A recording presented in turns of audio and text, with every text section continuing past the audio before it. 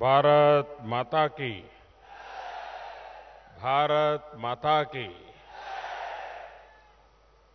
नमस्कार। आज ये शुभ मुहूर्त उपस्थित हुआ। सकलव राइजर मोई आंतरिक। श्रद्धा आए अभिनंदन जनाईशो लगते समस्त असमवासी राइजिक नमस्कार जनाईसो मंच पर विराजमान, असम के राज्यपाल,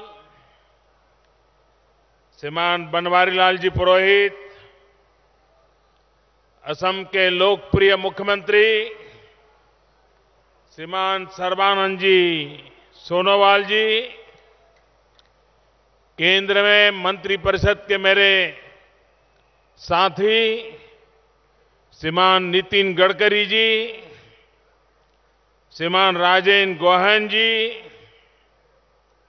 राज्य सरकार के मंत्री भाई परिमल जी, श्री पल्लभ जी, अरुणाचल प्रदेश के उप मुख्यमंत्री श्रीमान चोवना मेड़न जी हमारे सांसद श्री रामेश्वर तेली जी, प्रधान बरुआ जी, कामाख्या प्रसाद तांसा जी,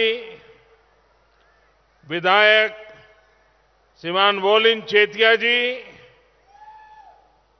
मंच पर विराजमान सभी महानुभाव और विशाल संख्या में पधारे हुए मेरे प्यारे भाई और बहनों,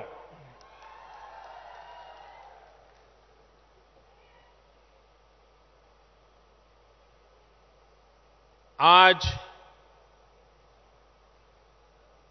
अनेक वर्षों से आप जिसकी प्रतीक्षा कर रहे थे, वो दलोंग का निर्माण हो गया, लोकार्पण हो गया। मैं आप सबसे आग्रह करता हूँ, इस खुशी के समय आप अपना मोबाइल फ़ोन बाहर निकालिए, अपने मोबाइल फ़ोन का फ्लैश लाइट कीजिए और सबको ये सिग्नल दीजिए कि कितना बड़ा उत्सव मना रहे हैं आप लोग। हर कोई अपने मोबाइल फ़ोन का फ्लैश चालू करें। शाबाश। हर कोई, चारों तरफ़ हर कोई। हाँ। लगना चाहिए कि बड़ा उत्सव मना रहे हैं आप। हर किसी की लाइट चलनी चाहिए। हाँ, वहाँ पीछे भी हो रहा है अब। वाह।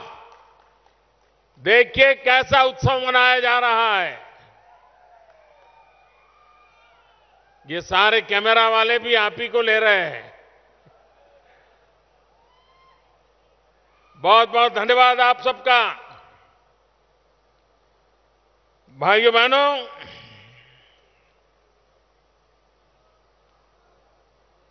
ये मेरा सौभाग्य है कि मुझे आज उस स्थान पर आने का सौभाग्य मिला है, जो कभी कुंडिल नगर के रूप में जाना जाता था। और द्वारका के नाथ श्री कृष्ण यहाँ पधारे थे।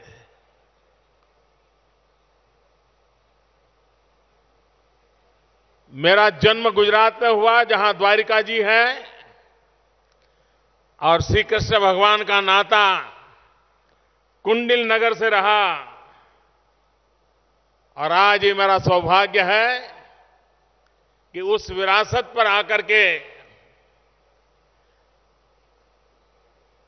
पिछले पाँच दशक से आप सब जिसकी प्रतीक्षा कर रहे थे, वह ब्रिज आज आपको प्राप्त हो रहा है।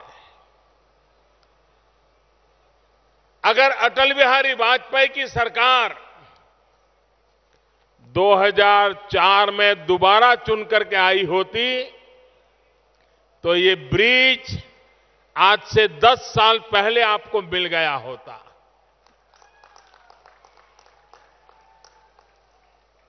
उन्नीस, उनतीस मई 2003 उस समय के हमारे विधायक जगदीश भुयन ने एक चिट्ठी लिख करके इस ब्रिज के लिए आग्रह किया। और अटल जी की सरकार ने इसकी फिजिबिलिटी रिपोर्ट के लिए काम सुप्रत कर दिया। गंभीरता से लिया गया। अगर उसके तुरंत बाद ये काम चला होता तो आज से 10 साल पहले आपको ब्रिज मिल गया होता। लेकिन बीच में सरकार बदल गई, रुकावटें आई, होती है, चलती है, ऐसा ही चला। और उसके परिणाम आपका सपना डगमगाता रहा। लेकिन पिछले तीन साल में अटल जी ने जो सपना देखा था, उसको पूरा करने के लिए लगातार प्रयास हुए। और आज जब असम में भारतीय जनता पार्टी की सरकार को एक वर्ष पूर्ण हो रहा है। सर्बानंद जी के नेतृत्व में असम अनेक समस्याओं से मुक्त होता चला जा रहा है। ऐसे अवसर पर ये ब्रिज आपको समर्पित करते हुए न सिर्फ़ आसाम की जनता के लिए गर्व का विषय है, लेकिन ये पूरे हिंदुस्तान के लिए गर्व का विषय है कि इतना हिंदुस्तान का सबसे लंबा ब्रिज आज आसाम के एक दूसरे छोर पर बन रहा है।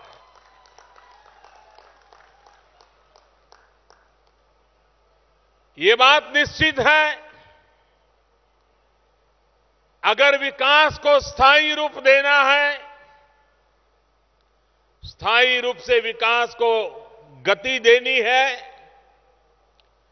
तो इंफ्रास्ट्रक्चर ये पहली आवश्यकता होती है। फ़िज़िकल इंफ्रास्ट्रक्चर सोशल इंफ्रास्ट्रक्चर ये दो पटरी पर संतुलित विकास संभव होता है। अगर हम इंफ्रास्ट्रक्चर का महात्मा नहीं समझेंगे, स्थायी व्यवस्थाएँ खड़ी नहीं करेंगे तो छुटमुट प्रयासों का परिणाम बहुत ही अल्पकालीन होता है, अस्थायी होता है। और इसलिए हमारी सरकार का ये लगातार प्रयास है कि विकास को स्थायी रूप दिया जाए, व्यवस्थाएँ विकसित किए जाए, और जिसके कारण, जिस सपने को लेकर के देश आगे बढ़ना चाहता है, उन सपनों को हम भली भांति पूर्ण कर पाए। अरुणाचल प्रदेश और आसाम को ये ब्रिज जोड़ दे रहा है, निकट ला रहा है। 165 किलोमीटर का अंतर कम होना, व्यक्ति के जीवन के मूल्यवान छह सात घंटे बच जाना, और एक बार ऐसी व्यवस्था खड़ी होती है तो आर्थिक विकास के भी नए द्वार खुल जाते हैं। अब हमारा सदिया वहाँ का अदरक, वहाँ के किसान जो जिंजर पैदा करते हैं, उत्तम कक्षा का जिंजर जहाँ पैदा होता है पूरी भूमि पर, अब ये ब्रिज बनने के बाद एक बहुत बड़े मार्केट के लिए इन किसानों के लिए नया रास्ता खुल जाएगा उनकी कमाई में वृद्धि होगी। और मुझे विश्वास है कि नॉर्थ ईस्ट में सदिया जैसा क्षेत्र जहाँ का जिंजर उच्च कोटि का अदरक माना जाता है, अगर यहाँ के किसान ऑर्गेनिक की तरफ़ चले गए तो यहाँ के जिंजर का ग्लोबल मार्केट खड़ा हो सकता है। दुनिया में उसका एक बड़ा मार्केट खड़ा हो सकता है। और इसलिए ये ब्रिज सिर्फ़ पैसे बचाएगा, समय बचाएगा, ऐसा नहीं। लेकिन ये ब्रिज एक नई अर्थ क्रांति का अधिष्ठान लेकर के आता है और एक नई इकोनॉमिकल रिवॉल्यूशन का बेस बनने वाला है। और इसलिए, और आज के इस ब्रिज का लोकार्पण पूरे हिंदुस्तान के लोगों का इस पर ध्यान है कि भारत में इतना बड़ा निर्माण कार्य होता है, किसी भी हिंदुस्तानी को एक गर्व देने वाला काम है। भाइयों बहनों, दो राज्यों के विकास में ये ब्रिज कड़ी बन रहा है। अरुणाचल का विकास आसाम का विकास। और एक प्रकार से हमारा जो सपना है कि भारत को विकास की नई ऊंचाइयों पर ले जाने में सबसे बड़ी ताकत प्राप्त करने की अगर कोई जगह है, संभावना है तो वो पूर्वी हिंदुस्तान है, पूर्वोत्तर हिंदुस्तान है। ईस्टर्न इंडिया है, नॉर्थ ईस्ट भी है, और इसलिए हमने हमारी विकास की जो योजनाएँ लागू की है, उन सब में पूर्वी हिंदुस्तान को बल देना, नॉर्थ ईस्ट को व्यवस्थाएँ देना, नॉर्थ ईस्ट के अंदर वो ताकत है। अगर उनको थोड़ी सी व्यवस्थाएँ भी मिल जाए तो बहुत बड़ा चमत्कार कर सकते हैं। और इसलिए हमने हमेशा इस बात पर बल दिया है कि विकास को नई ऊंचाइयों पर ले जाने के लिए इसको प्रयास किया जाए। प्रतिदिन सिर्फ़ डीजल की बचत से इस इलाके के नागरिकों का रोज़ाना 10 लाख रुपया बचने वाला है इस ब्रिज के कारण। समय तो मूल्यवान है ही है, लेकिन डीजल की बचत से भी रोज़ाना 10 लाख रुपए की बचत सामान्य नागरिक के जेब में पैसे बचने वाले हैं। ये अपने आप में, सामान्य मानवीय के जीवन में, पहले हम फेरी सर्विस से जाते थे। अगर मौसम ठीक नहीं रहा तो फेरी सर्विस बंद हो जाती थी। ब्रह्मपुत्रा रुट गई हो तो फेरी सर्विस रुक जाती थी। अब ये ब्रिज के कारण 24 four by seven three days हमारे लिए व्यवस्था बन गई है, और इसलिए प्राकृतिक प्रकोप से हमारी गति को कभी रुकावट नहीं आएगी। ये काम इसके द्वारा हुआ है, और इसके कारण, इसके साथ साथ जैसा नितिन जी बता रहे थे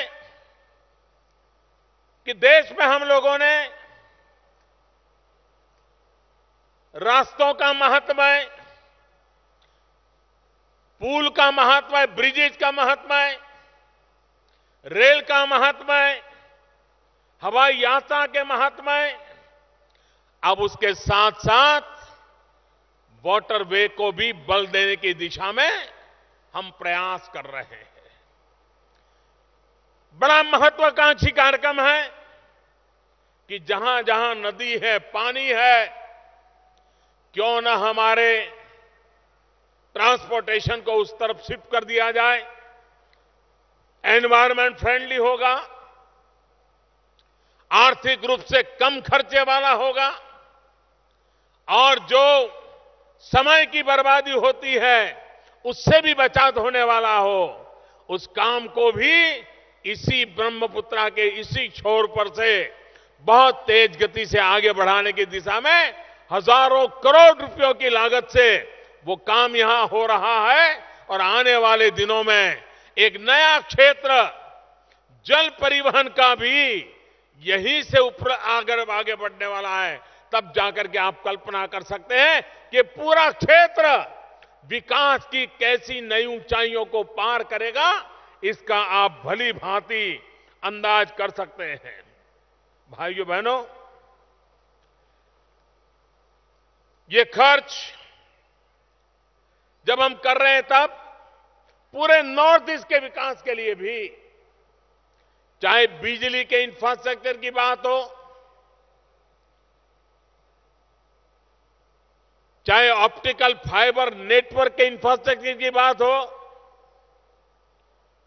चाहे रोड के इंफ्रास्ट्रक्चर की बात हो, चाहे रेल के इंफ्रास्ट्रक्चर की बात हो पूरे नॉर्थ ईस्ट को हिंदुस्तान के हर कोने से जोड़ना, हिंदुस्तान के हर कोने के लोगों को हमारे इस पूर्वोत्तर भारत के साथ जोड़ना उस दिशा में हम तेज गति से आगे चल रहे हैं।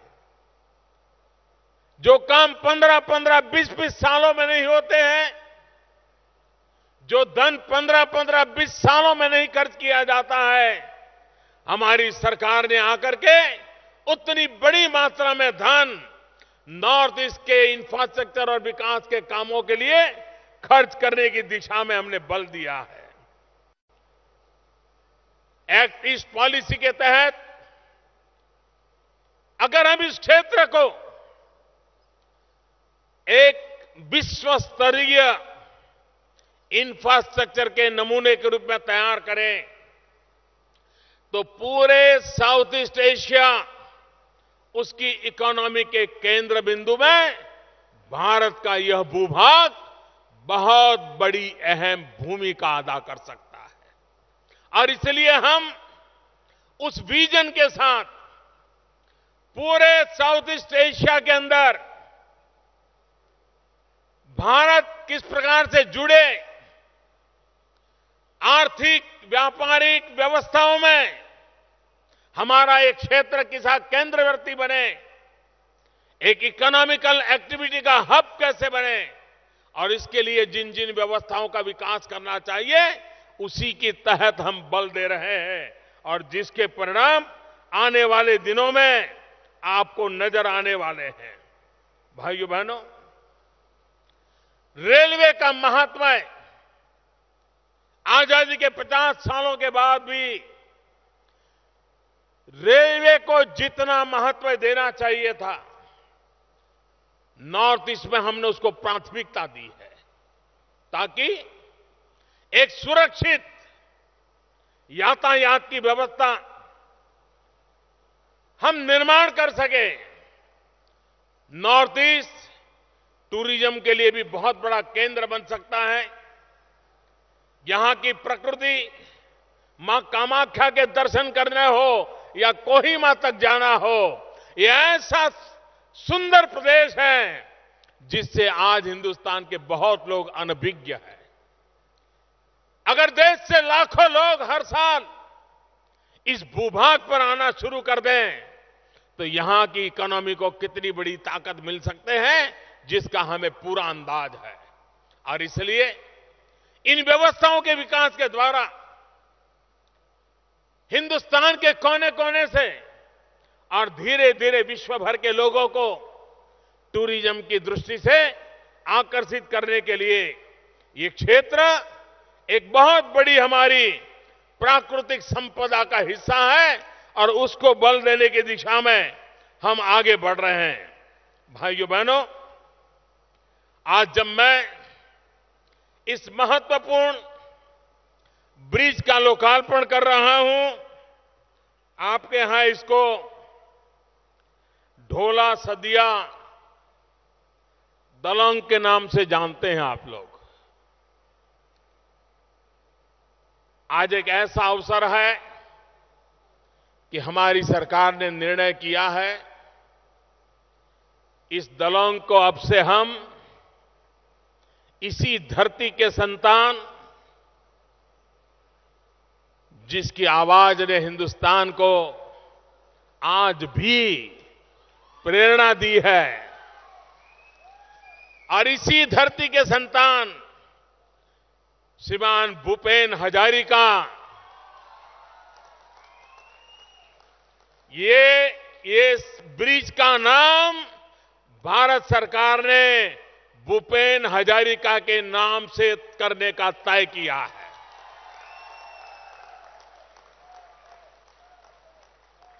इस धरती के संतान को, ये हमारी उत्तम श्रद्धांजलि है। आने वाली पीढ़ियों को प्रेरणा देने वाला ये नाम, वो ब्रह्मपुत्रा के सपूत थे, वे ब्रह्मपुत्रा के उपासक थे। उनकी हर बात में ब्रह्मपुत्रा का गुणगान हुआ करता था।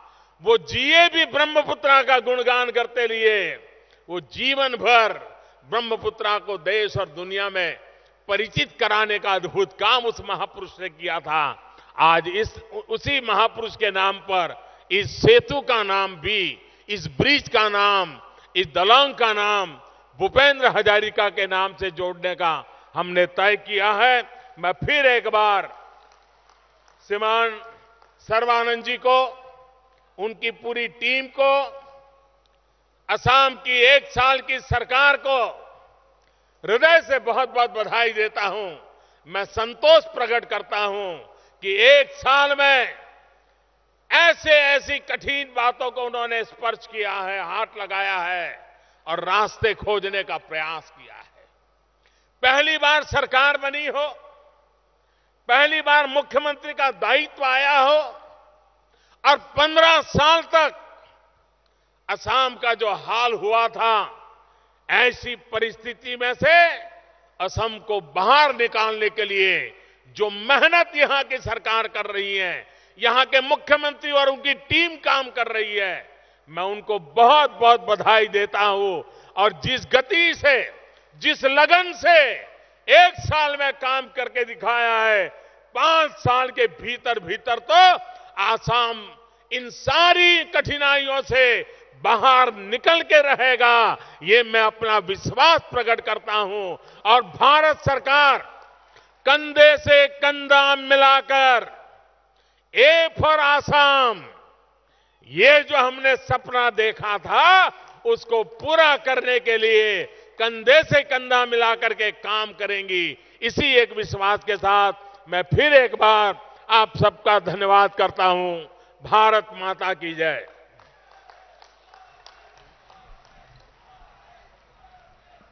माननीय That was प्रधानमंत्री honorable- महोदयले हामी धन्यवाद ज्ञापन करिसु माननीय प्रधानमंत्री जी का हम हृदय से धन्यवाद करते हैं Now, और उनकी आज्ञा on this लेते हुए opening, and a आज very की ये good news सभा for यहीं समाप्त everyone, होती especially है for the people of Assam, that this पुनर्बार माननीय Dhola प्रधानमंत्री Sadia Bridge will महोदयले be हामी known धन्यवाद as ज्ञापन now কৰিছো Bhupen মঞ্চত Hazarika উপবিষ্ট Bridge from আটাইকেইগৰাকী today onwards. বিশিষ্ট ব্যক্তিলৈ This ধন্যবাদ journey জ্ঞাপন started on কৰিছো 17 June আৰু আজি 2011 সভাত and উপস্থিত today on থাকি এই 26 সভা May 2017 সাফল্যমণ্ডিত কৰি the তোলাৰ বাবে promises আটাইকেইগৰাকী confined to the people have been fulfilled. So, along with the Prime Minister, Dr. Bhupen Hazarika